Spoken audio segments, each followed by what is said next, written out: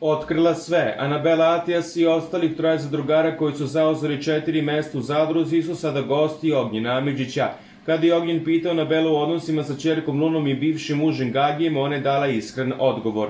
O Luni, majka sam joj, znam da sam dosadna, komuniciramo, da umrem jedino pa da nemamo odnos. O Gagiju.